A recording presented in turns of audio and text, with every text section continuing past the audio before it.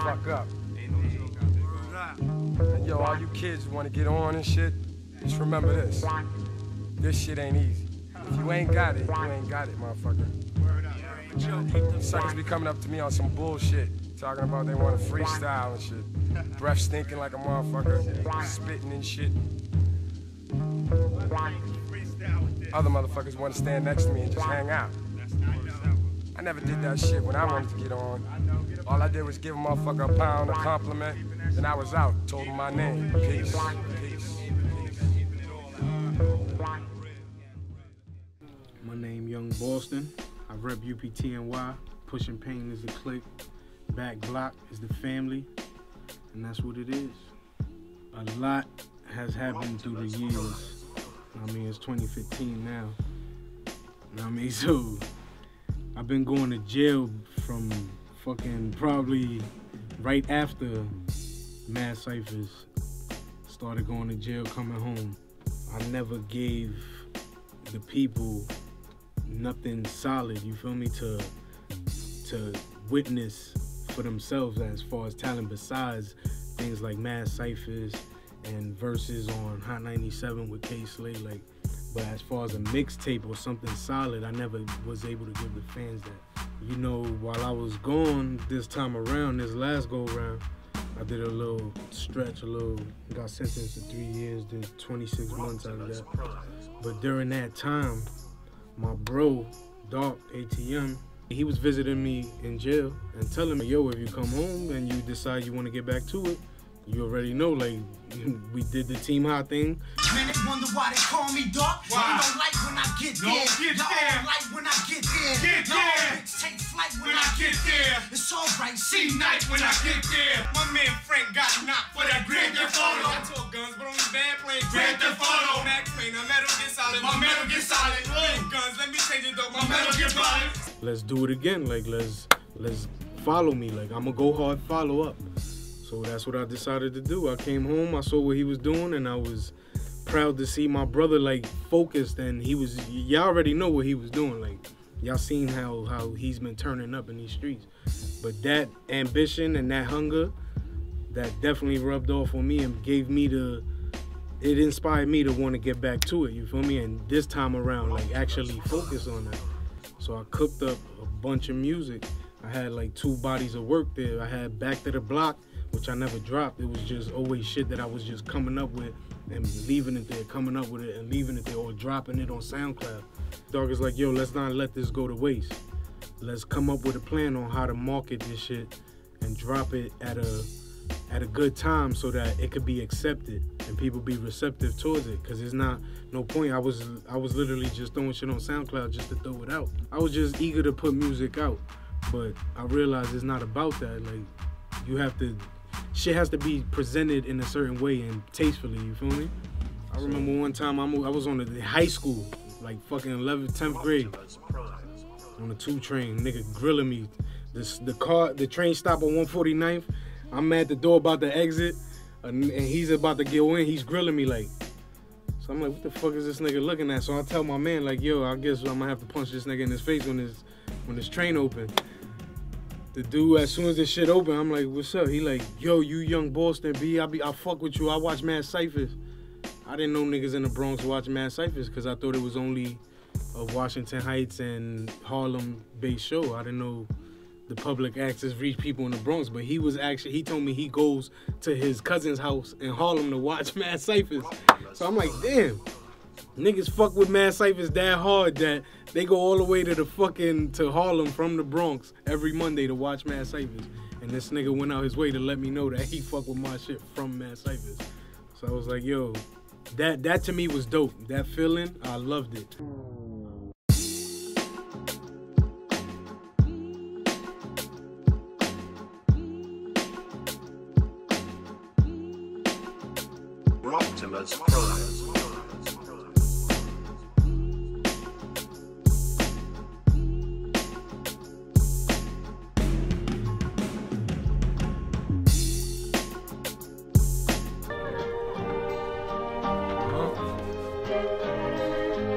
Levels. Flow God. My nigga Mac in the building. I can't lie, money rule the world. The money in my pocket, yeah, rule your girl. Shit ain't been the same since a nigga got some change. Niggas change round here. Yeah. Shit ain't been the same round here. Every nigga with me selling cane round here. Might catch me with the pulling gang round here. Every nigga with me carrying the thing round here. Look, bitch, get out of pocket, I'ma pull a coat. Trunk of my Impala all full of coke. I'm selling white girl in every sense of it. Shit, I like girls, it makes sense, don't it? Ha! I pop the pistol, let a shot go. Pop flow when I'm switching lanes in that drop hole.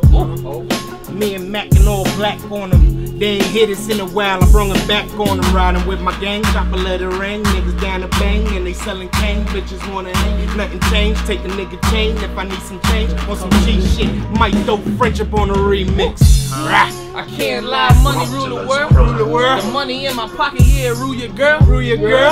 Ha, shit ain't been the same since a nigga got some change. Niggas change round here. Round here. Shit ain't been the same round here. Uh-uh. Every nigga with me selling cane round here. Facts. Might catch me with the potent gang round here. Every nigga with me carrying a thing round here. Nigga.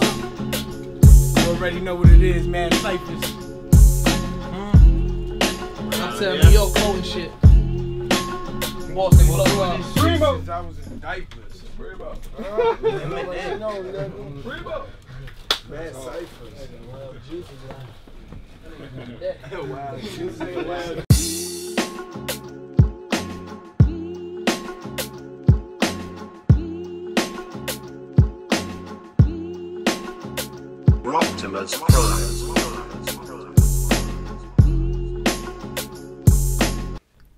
boy Ezzy, man. You know what I'm saying? From Cleveland, Ohio, 18 year old artist, hip hop artist, fashion design, graphic design. I do I do everything basically. You know what I'm saying? I'm running my brand along with the help of like my management, my mom, and my older brother. Um, but you know, but it's just like a family oriented movement that I got going on, and a family oriented brand that I run by myself. You know, and that is just Ezzy. You know, my, my name is my name. So um, actually, man, like before, I was like in, I guess you could say, in the eye, the public eye of the Cleveland music scene. I wasn't really like into it or like I was always just like kind of more to myself. I was more into just like writing stories and books or uh, writing comic books or drawing. I like drawing a lot. I like to read a lot. I was just more like artistically driven. So around like the end of like middle school, like eighth grade, I got into like music because like that's what like everyone else was into. I remember like right around eighth grade, uh, No Ceilings dropped and like that's when like everybody was listening to in my school.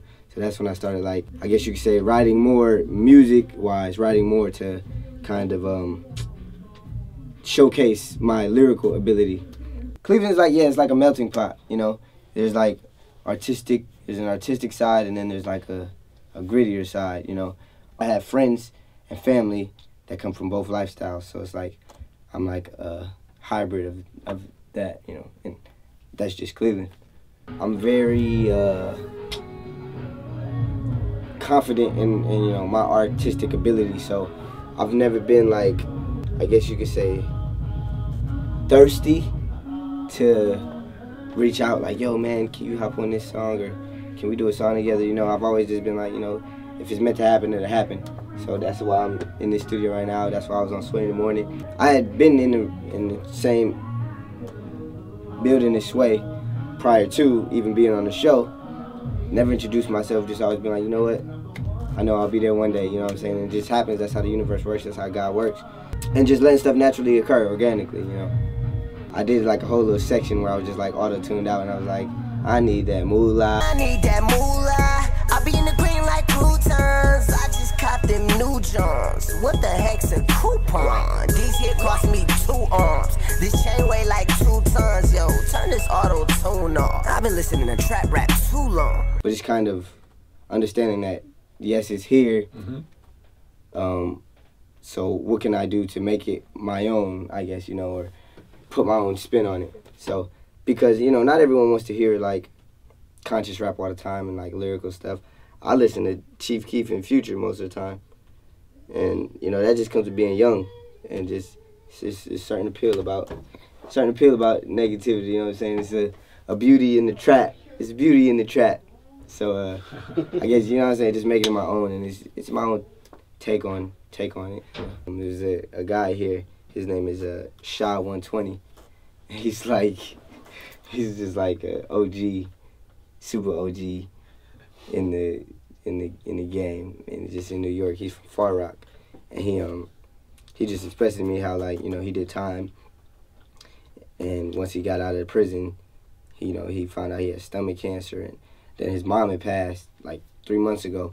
So he's just saying how he was going through it, and then my guy um Dave showed him some of my music, and he was like, "Man, you kept me here for a few more months, man. You're the reason I wake up in the morning and want to, you know, get out and be a productive member of society." So that was really touching for me, especially just knowing where he comes from.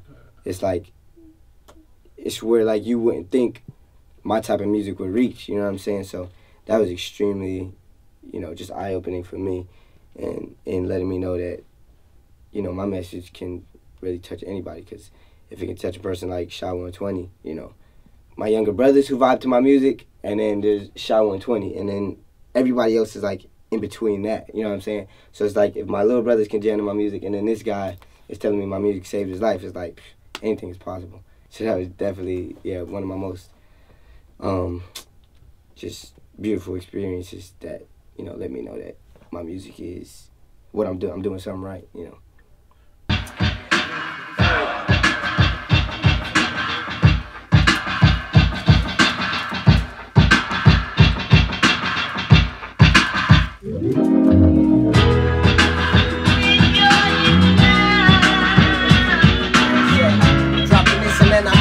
Out. I'm dropping this and I just might drop out. Dropping this and then I, uh, yeah, yeah. I say um, dropping this and then I might drop out. Check.